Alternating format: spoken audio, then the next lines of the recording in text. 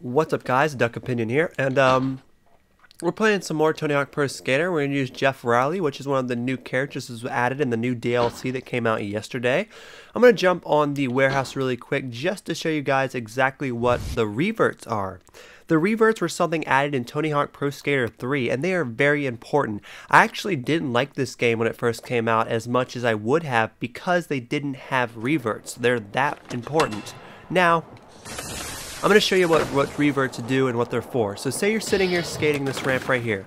You're doing grabs. Now say you see how you go up and you just land. And that's like the end of your score. Except this guy kind of sucks because he's like a new character and doesn't have good stats. But you see you just go up and land, right?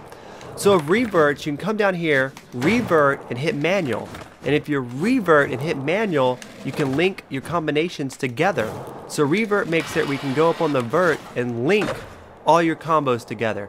So what you need to do is you come up here and you hit the right joystick and hit up and hit up down and he'll manual. So right joystick and up and down and he'll do the manual. And when he does the revert manual, you can just link everything together like I'm doing right now.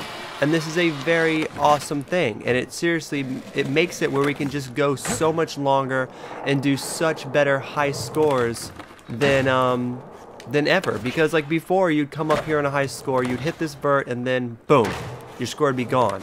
But now you can be on a high score, come up here and do like a special trick, and then just revert manual and go right back into doing whatever you're doing, unless you fail like that. But that is what reverts are. That is how they work. They're just something that lets you continue your combo from the vert. And it's pretty sick. I think it's awesome. So um, if these videos do good, I would love to actually do a full Let's Play of like, I don't know, with like Geoff Rowley or something. I mean, it'd be cool.